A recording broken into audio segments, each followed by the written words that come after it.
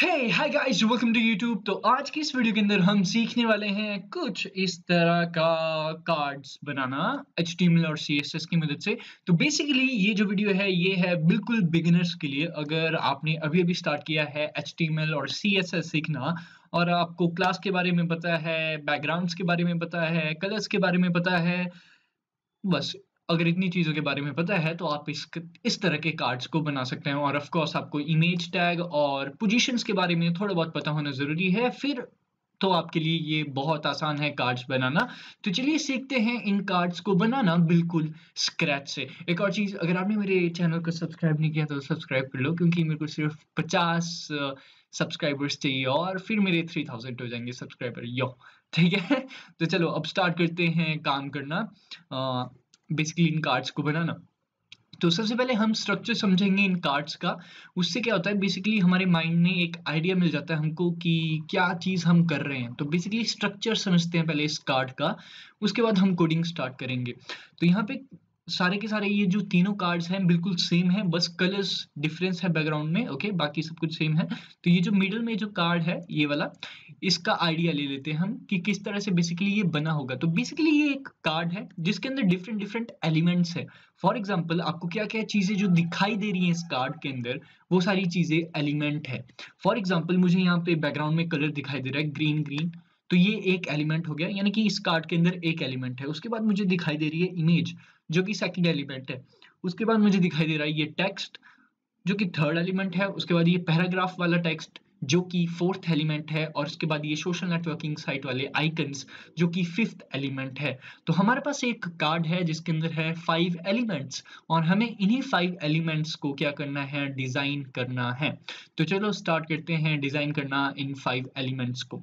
तो सबसे पहले हम एच में स्ट्रक्चर क्रिएट करेंगे डेटा का और उसके बाद सीएसएस की मदद से उस डेटा को हम कुछ इस कार्ड की फॉर्म में रिप्रेजेंट करवाएँगे। तो चलो स्टार्ट करते हैं ठीक है? ज़्यादा बकवास नहीं करनी है मैंने। तो पहले कार्ड यहाँ पे समझ लेता हूँ, और मैंने रिकॉर्डिंग स्टार्ट की है कि नहीं। कई बार ऐसा होता है मेरे साथ कि मैं रिकॉर्डिंग करना भूल जाता हूँ। तो सबसे पहले हम क्या करेंगे एक कार्ड बनाएँगे, कुछ इस तरह से, ठीक है? और इस कार्ड के अंदर क्या होगा? इस कार्ड के अंदर होंगे हमारे फाइव एलिमेंट्स जो कि हैं background image and the text and uh, वो आइकन्स ठीक है? तो फाइव एलिमेंट्स आ जाएँगे।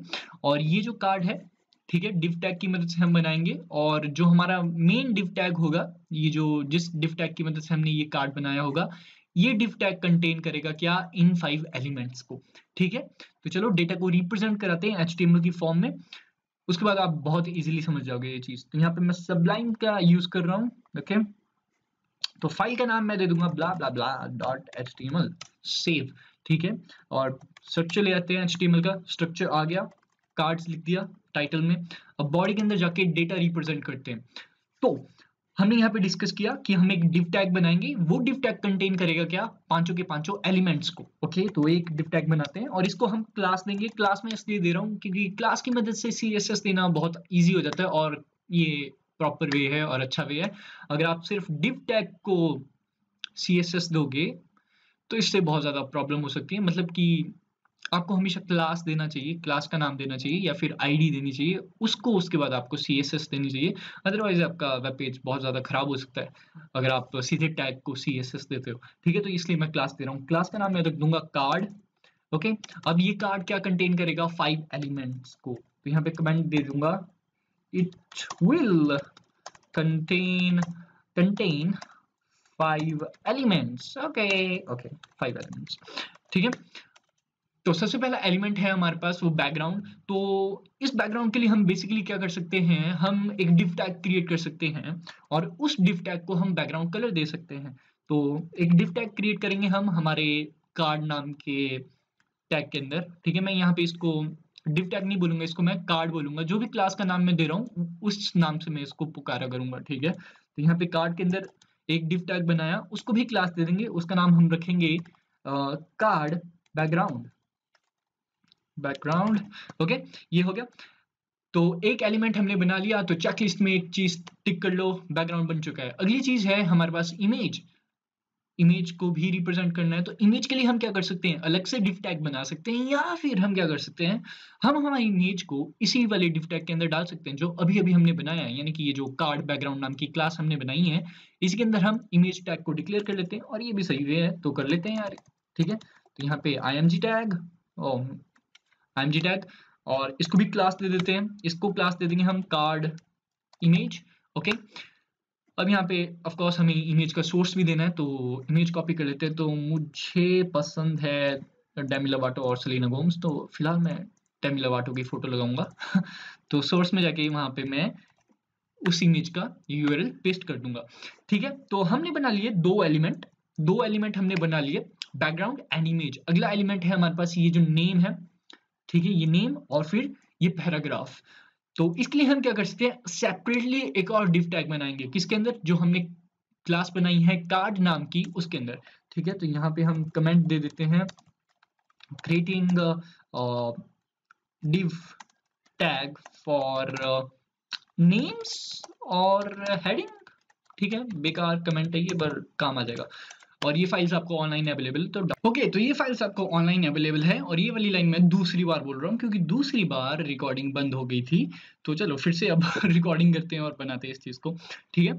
तो अब हमें एक डिव टैग बनाना है किस चीज़ के लिए? जो भी ये नाम वगैरह हमने लिखा है इस चीज़ के लिए हमें एक डिव टैग बनाना है तो बना लेते हैं यहाँ पर। ठीक है? तो डिव टैग और इसको भी हम क्लास दे देंगे। क्लास का नाम हम रखेंगे card info card info and इसके अंदर हम क्या दे देंगे? एच टैग दे देंगे एच टैग और इसके अंदर मैं लिख दूँगा डेमी लवाटो एंड उसके बाद पैराग्राफ टैग जो कि कंटेन करेगा पैराग्राफ तो पैराग्राफ के अंदर हम लिख देते हैं हम्म, जो भी यहाँ पे लिखा हुआ है वो copy and paste that's it और यहाँ पे एक बी आर टैग लगा देते हैं ताकि थोड़ा ज़्यादा गैप बन जाए एच वन और पी के बीच में। उसके बाद अगली चीज़ है, ये जो आइकन्स है यहाँ पे दिए हुए हैं हमने, ये आइकन्स अब हमें क्रिएट करने, या तो हम इसी के अंदर आइकन्स को डाल सकते हैं, या फिर हम क्या कर सकते हैं, इसके लिए भी अलग से एक डिव टैग क्रिएट कर सकते हैं। तो इसके लिए भी अलग से डिव टैग क्रिएट करूँगा। तो इसको भी क्लास दे देंगे और इसका नाम रख देंगे हम card social icon social icons icons okay और इसके अंदर अब हमें हमारे जो टैग्स हैं आइकन्स के, वो डालने हैं, या फिर आप इमेजेस का यूज़ कर सकते हो। मैं सजेस्ट करूँगा कि आप आइकन्स का यूज़ करो। तो यहाँ पे मैं फंट ऑसम आइकन्स का यूज़ कर रहा हूँ। ये रही लिंक अगर आपको नहीं पता कि किस तरह से फंट ऑसम आइकन को डाउनलोड और यूज़ करते हैं तो आप मेरी वीडियो देख सकते हो। तो यहाँ पे हेड टैग के ऊपर जाके मैंने पेस्ट कर दी फंट ऑसम की लिंक और टैग्स को कॉपी किया और पेस्ट किया। अब इस फ़ाइल को चेक करते हैं एक बार हमारे ब्राउज़र में कि किस तरह का रिज़ल्ट मिल रहा है हमें, हमारे डेटा का। तो ये रही फ़ाइल ओपन की फ़ाइल और कुछ इस तरह का रिज़ल्ट हमारे पास आ गया। तो डेटा कुछ इस तरह से रिप्रेजेंट होके आया है हमारे पास, यहाँ पे। अब इस डेटा को हमें बहुत अच्छे से सजाना है सी एस एस की मदद से। यानी कि सी एस एस की मदद से इसको अच्छे से डिज़ाइन करेंगे। तो चलिए चलिए स्टार्ट करते हैं। तो सी एस एस के लिए नई फ़ाइल बनाऊँगा और फ़ाइल का नाम मैं रखूँगा la la la la dot C S S save replace करनी है तो चलो कर दो, कोई सीन नहीं है। ला ला ला ला, और इसको अब हमें अटैच करना पड़ेगा एच फ़ाइल के साथ। तो ये करने के लिए लिंक टैग लगेगा एच वाली फ़ाइल में, वहाँ पे जाओ लिंक लगाओ लिंक टैग लगाओ, और उसके बाद एड्रेस कॉपी करो सीएसएस वाली फ़ाइल का, और एच के अंदर पेस्ट करो, और फ़ाइल का नाम चेंज करो, la la la la dot C S S save और रिफ्रेश और दोनों फाइल्स अब एक साथ अटैच हो चुकी हैं एच और सी एस एस वाली। अब सी एस एस देना स्टार्ट करते हैं। तो सबसे पहले हम चाहते हैं कि हर मार्जिन और पैडिंग हट जाए। तो मार्जिन और पैडिंग हटाने के लिए एस्ट्रे लगाएँगे हम और उसके बाद इसको मार्जिन दे देंगे ज़ीरो पिक्सल एंड पैडिंग दे देंगे ज़ीरो पिक्सल इसकी वजह से हर चीज़ का पैडिंग और मार्जिन चला जाएगा।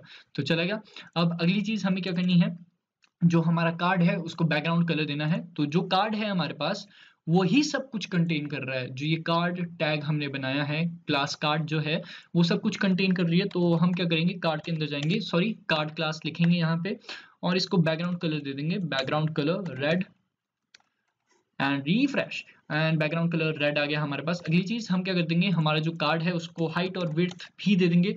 350 में इसको विथ दे दूँगा एंड हाइट में इसको देना पसंद करूँगा अबाउट इतनी? 440 ये अच्छी लगेगी रिफ्रेश और इस तरह का कार्ड हमने बना लिया। ठीक है? अगली चीज़ मैं चाहता हूँ कि आप यहाँ पे देख सकते हो इन कार्ड्स के अंदर कि जितने भी एलिमेंट्स हैं, जितने भी पाँचों के पाँचों एलिमेंट्स हैं ठीक है, जो कि डेटा वाली फॉर्म में तो हमारे पास सिर्फ़ चार एलिमेंट है, ठीक है? तो जो डेटा की फॉर्म में जितने भी एलिमेंट है, वो सेंटर के अंदर हैं। तो हम चाहते हैं कि जितनी भी चीज़ें हैं, वो सेंटर में आ जाए। तो ये करने का बहुत ईजी वे है। अगर मैं कार्ड को टेक्स्ट अलाइन दे दूँ सेंटर तो हर चीज़ जो भी इस वाले टैग के अंदर होगी, इस वाली क्लास के अंदर होगी, यानी कि ये जितना भी कोड है, वो सारा का सारा सेंटर में आ जाएगा। तो यहाँ पे जाके टेक्स्ट अलाइनमेंट में सेंटर दे दूँगा हमारे कार्ड को एंड रिफ्रेश और हर चीज़ सेंटर में आ गई एक ही बारी पे। अगली चीज़ हम चाहते हैं ये बैकग्राउंड कलर क्रिएट करना तो बहुत ज़्यादा ईजी है। इसके लिए हमने सेपरेटली क्या किया था? एक क्लास बनाई थी जिसका नाम है कार्ड बैकग्राउंड ओके और ये कंटेन करता है हमारे इमेज टैग को, ठीक है? तो बैकग्राउंड तो जो हमने ये क्लास दी है कार्ड बैकग्राउंड इसको हम सीएसएस देंगे और सीएसएस में इसका बैकग्राउंड कलर हम देंगे। तो ये सिंपल बैकग्राउंड कलर नहीं है, ये एक ग्रेडियंट कलर है टू कलर्स को मिक्स किया तो इसके लिए हम प्रॉपर्टी लगाते हैं बैकग्राउंड और उसके बाद लिखेंगे हम linear linear oh shit linear gradient gradient to right to right हमने इसलिए लिखा ताकि हमारा जो कलर है टू राइट की तरफ़ फ्लो करे, ठीक है? और कलर यहाँ पे कुछ भी दे दो, जैसे कि ग्रीन दे दिया और एक रॉयल ब्लू दे दिया रॉयल ब्लू ओके और सॉरी ये मेरा कीबोर्ड बेकार सा हो गया है। एंड रिफ्रेश और कुछ इस तरह का जो है हमारे पास रिज़ल्ट आएगा बैकग्राउंड में। और अगली चीज़ जो है इमेज हम चाहते हैं सर्कल की फॉर्म में तो इमेज टैग को भी हमने क्लास दी है कार्ड इमेज तो कॉपी करो इस क्लास के नेम को और इसको सी एस एस देंगे अब हम। कार्ड इमेज कलिब्रेसिस तो सर्कल में इमेज लाने के लिए हम क्या करेंगे? बॉर्डर रेडियस का यूज़ करेंगे। और बॉर्डर रेडियस देंगे हम 50 परसेंट एंड दैट्स इट और ये आ गई इस तरह से सर्कल में इमेज और उसके बाद इसको विड्थ दे देंगे हम अबाउट 120 पिक्सल एंड हाइट इसको हम ऑटो दे देंगे. एंड रिफ्रेश और इमेज कुछ इस तरह की बन गई हमारे पास. Okay okay? अगली चीज़ ये जो बैकग्राउंड है, हमने जो बैकग्राउंड कलर अभी अभी जो क्रिएट किया है ब्लू और ग्रीन में, इसकी हाइट दे देते हैं हम यहाँ पे. इसकी हाइट में दे दूँगा अबाउट 200 पिक्सल एंड इसकी विड्थ दे देंगे हम 100 पिक्सल एंड कुछ इस तरह का हाइट ज़्यादा हुई शायद। 160 नाइस लगेगी, अच्छी लगेगी तो 160 दे दी। अगली चीज़ हम चाहते हैं, जो ये हमारी इमेज है, ठीक है? ये यहाँ पे आए सेंटर में आए। यहाँ, जहाँ पे बेसिकली हमारा जो ये कलर ख़त्म हो रहा है ना, इसके सेंटर में आ जाए इमेज कुछ इस तरह से, जैसे कि यहाँ पे है। तो इसके लिए हम क्या करेंगे? इमेज को पोजिशनिंग देंगे। तो ये करने के लिए हमें क्या करना पड़ेगा? पोजिशन प्रॉपर्टी का यूज़ करने पड़ेगा और उसको वैल्यू देंगे रिलेटिव और उसके बाद हम कंट्रोल कर सकते हैं इसकी पोजीशन तो टॉप में दे दूँगा इसको about sixty pixel sixty pixel से नीचे आ जाएगी ये. एंड रिफ्रेश और ये नीचे आ गई, लेकिन हमें और नीचे चाहिए. तो about hundred pixel I think और हंड्रेड पिक्सल से काम बन गया. ठीक है तो अच्छी लग रही है अब ये इमेज अब अगली चीज़ है जो हमारा डेटा ही, ये जो नेम वगैरह हैं आइकन्स हैं, इनको हमें अच्छे से रिप्रेजेंट करना है तो आसान है.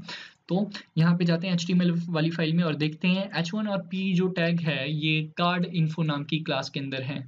ठीक है? इस नाम के डिव के अंदर है ये तो अब डॉट कार्ड इन्फो को हम क्या करेंगे? देंगे सी एस एस देंगे।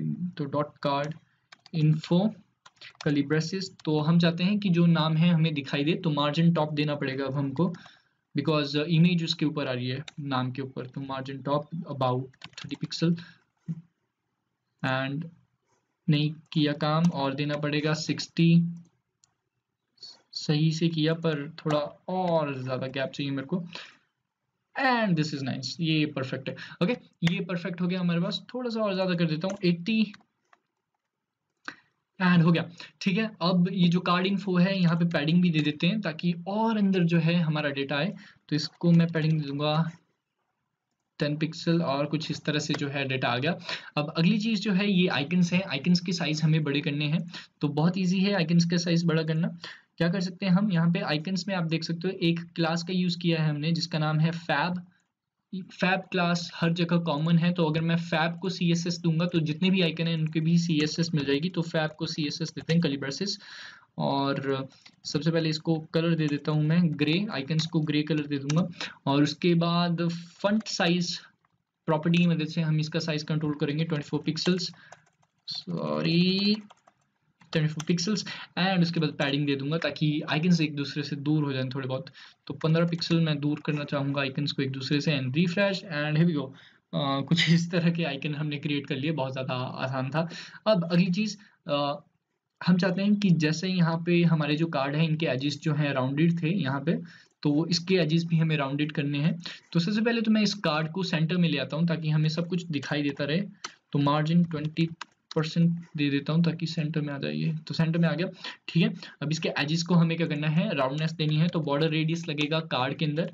तो कार्ड के अंदर जाके बॉर्डर रेडियस 10 पिक्सल दे दूँगा। सेव रिफ्रेश और नीचे से आप देख सकते हो बॉर्डर रेडियस आ चुका है, लेकिन ऊपर की साइड नहीं है। ऐसा क्यों?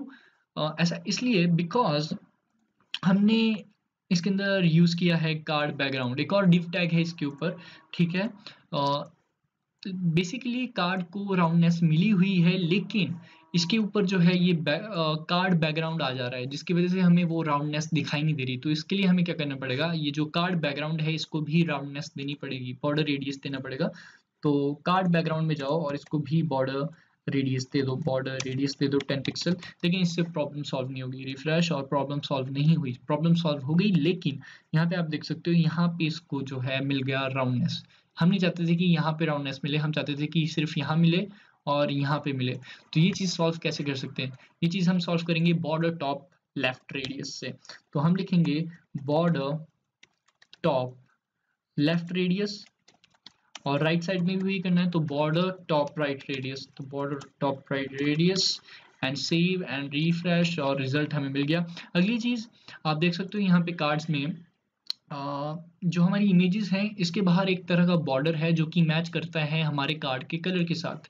तो हमें हमारी इमेज को भी बॉर्डर देना पड़ेगा तो कार्ड इमेज नाम की क्लास में जाओ और इमेज को बॉर्डर दे दो अबाउट सिक्स पिक्सल सॉलिड में।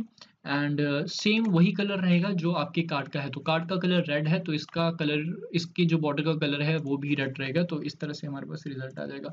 अब हमें इसके इसको और अच्छे से रिप्रेजेंट करना है और अच्छे से दिखाना है। तो इसके लिए हम क्या करेंगे? राइट क्लिक करेंगे इंस्पेक्ट करेंगे और सही कॉम्बिनेशन ढूंढेंगे ढूंढेंगे कलर्स का। तो यहाँ पे इंस्पेक्ट करते हैं हर एलिमेंट को। तो यहाँ पे मैं सबसे पहले ये जो ग्रेडियंट हमने चूज़ किया इसको मैं कलर देना पसंद करूँगा कोई। तो यहाँ पे ये वाला कलर चूज़ करूँगा और इस साइड में चूज़ करूँगा ये वाला कलर एंड इस कोड को कॉपी कर लूँगा और अपने CSS के साथ चेंज कर लूँगा वैल्यूज़ के साथ एंड सेव ठीक है?